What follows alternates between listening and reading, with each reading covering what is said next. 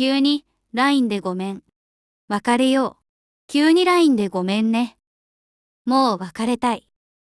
なんで？うち、なんか悪いことした。昨日のデート楽しくなかったとか、違うけど、もう別れた方がいいかなって。あんなといても気持ちが高まらないし、もうドキドキすることもなくなったから。待ってよ。まだ付き合って3ヶ月だよ。それなのにもう飽きたってこと。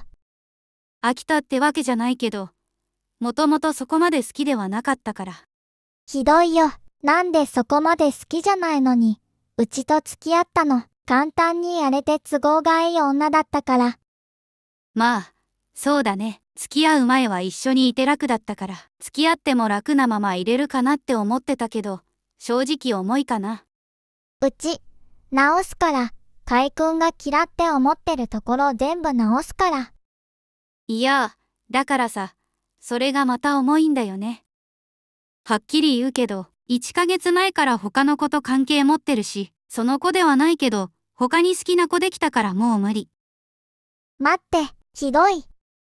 カイくんのこと大好きなのに1ヶ月も前から浮気してたなんて。まあそういうことだからさ、もう別れてくれないかな。許可なくても別れるけど。ねえ。最後でいいから会いたい。体だけの関係でいいから会いたい。ダメ。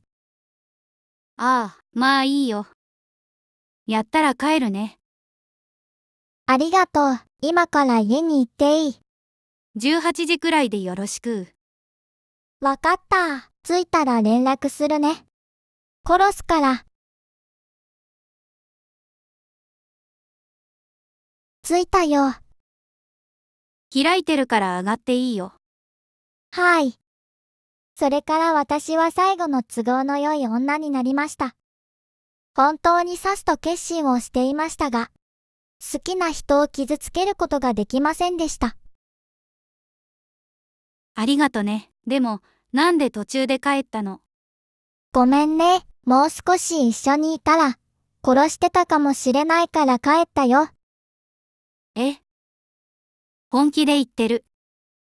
本気だよ。生きててよかったね。怖いなお前。でちゃ。皆様もメンヘラ彼女には気をつけてくださいね。大切にしないとやられちゃいますから。ご視聴ありがとうございました。よかったら、いいねとチャンネル登録お願いします。